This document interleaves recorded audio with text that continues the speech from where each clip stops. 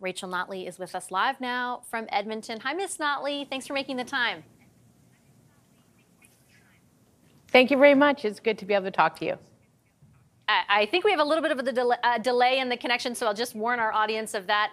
I know that you had a lot of these today, so thanks for, for squeezing us in as well. I wanted to start off by asking if you knew after the last election that it wasn't a question of if, but more when you'd resign as leader.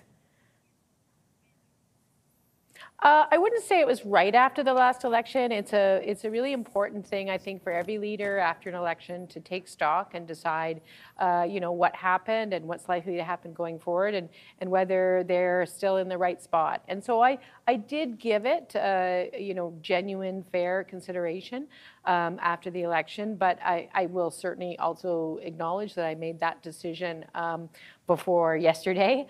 Uh, and part of the reason that, that now is the time that I'm making my announcement is because, uh, you know, I, I was able to uh, successfully uh, help our fabulous, amazingly credible and capable uh, 19 new MLAs through their first session uh, this fall. Ultimately, when you were making those considerations, what distinguished what happened to your party after this election versus the loss to Jason Kenney. Like after you lost to Jason Kenney, you you didn't you know you didn't resign. You stayed on for another four years. What was the distinguishment between the two elections for you? Well, I think uh, really, you know, in 2019, there there was very quickly a narrative that developed that suggested that you know the NDP was done, and more importantly, that Alberta is a conservative province once again, and will be for another 40 years, and yada yada yada. And I found that uh, you know quite frustrating, and I also believe that it was very much not true. And and so and at the time, uh, you know, I believe that my uh, role in staying on uh, was was a more important part of, of contesting that overall um, narrative and assumption. Now, what's different is that, yeah, of course, we didn't win the election in 2023. That's obvious. But we did grow the party uh, to a place where it is stronger than it ever has been before, arguably even stronger than we were uh, between 2015 and 2019. We have a caucus that I would argue is the most qualified and capable of any caucus sent to the Alberta legislature in uh, one or two generations. And, uh, and, and the party's in good shape. Our relationships with uh, stakeholders stakeholders and opinion leaders and community members all across this province is, is well developed. Uh, and, and so this is a, a good time for me to be able to go while leaving behind me uh, a, a, political choice for Albertans, uh, not just for who will best articulate their vision in the legislature uh, as, a, as a voice in the wilderness, but rather who will be uh, the person that they can give their vote to with an expectation that they will govern the province. Can I interpret that in layman's terms that you feel as though the person who replaces you has a better shot at doing that now than they might have after the, the, the other election? Well, you could. I mean, sure, I preferred to take four times as long saying that. But uh, yeah, sure. Yeah, no, that's about it. Actually, you got it. uh, you said today also that the things you considered, uh, among the things you considered, was that what would rather be in the best interest of your party. Why do you feel it's in the best interest of your party, beyond their chances or their prospects for, for your replacement, to not have you at the helm anymore? I mean, 10 years is a long time. You make an impression on the way a party works, the, the way in which it works in the legislature and in the public. Like, why is it in the best interest of the NDP to not have you at the helm? Well, because I think that because of the growth that we've experienced, uh, it, it is important uh, for that there be a time of renewal and that there be a time for for real conversation about uh, you know the next uh, you, know the next few years for the party and what our focus will be and what the face of the party looks like. And and so uh, you know uh, the people and provinces change in 10 years and, and, and provinces and, and parties should probably, you know, make an effort to keep up every now and then. And so, you know, I've been around for, for a long time and, and I'm very proud of the work that I've done. But uh, I also appreciate uh, the need for, for a bit of renewal every now and then. And, and as I say, you know, uh, politics is a bit of a tough go these days. And I, I feel very privileged to be able to pick the time of my departure. And I feel that, that this is a good time because I'm leaving the party in good shape. You also said during your press conference that you haven't decided beyond, you know, you're going to stay on until the, your replacement is chosen, but you haven't decided if you'll uh, stay on as an MLA thereafter. Why would you stay?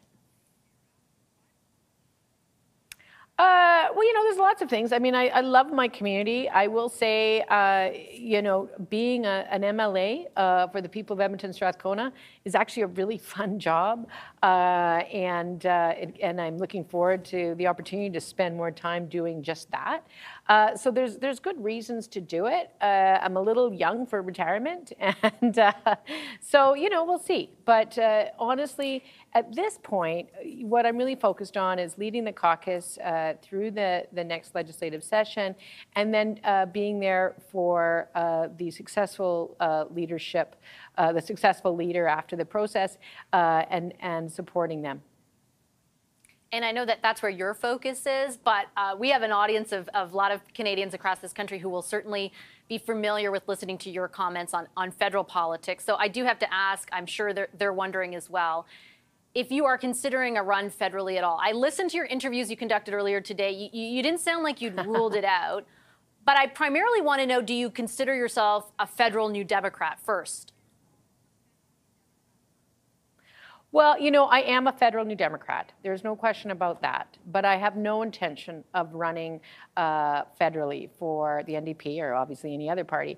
And and honestly, uh, I answered the, that question in a different interview uh, more recently just by saying, nope, not going to happen.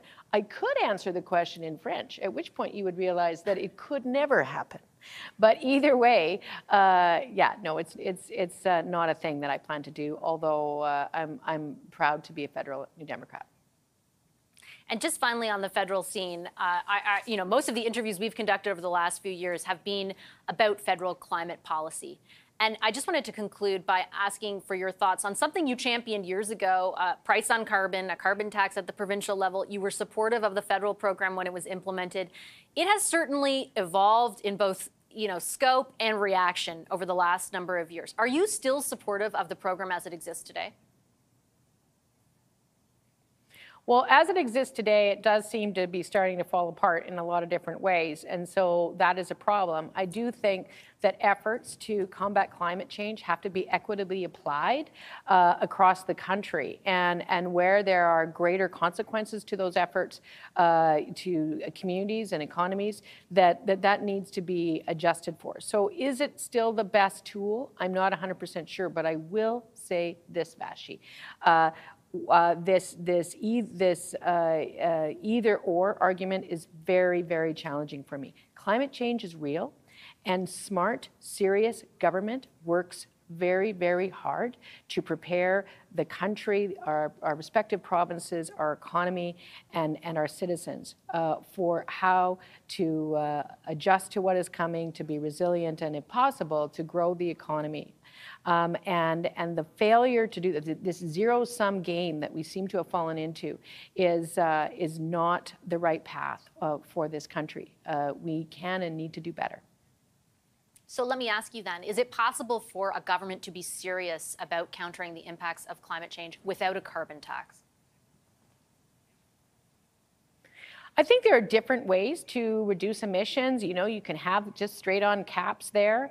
Um, I will say, you know, honestly, the reason we looked at uh, the carbon tax back in the day in Alberta was because if, if not carefully managed, caps could turn into a transfer of wealth out of the province of Alberta. Uh, but there's a lot of different things that need to be done. Uh, you know, it's, it, there's no simple solution. Uh, it does require resources. Uh, I've said before, and I'll say again, um, uh, not only Alberta, but Canada uh, uh, benefits a lot from uh, the export of non-renewable resources in, in this country. And uh, if we are going to uh, confront the, the issues of climate change, we need to find a way to do so in a way that we're able to position our energy industry to continue to contribute to our economy while at the same time uh, uh, significantly reducing emissions. And that work's complex. It can be done, but we I, I, am frustrated at, at the war of words that has interfered with real progress um, on, on these important goals. Okay, I'm out of time. I have to leave it there. Thanks for your time, Ms. Notley. Appreciate it very much. Thank you.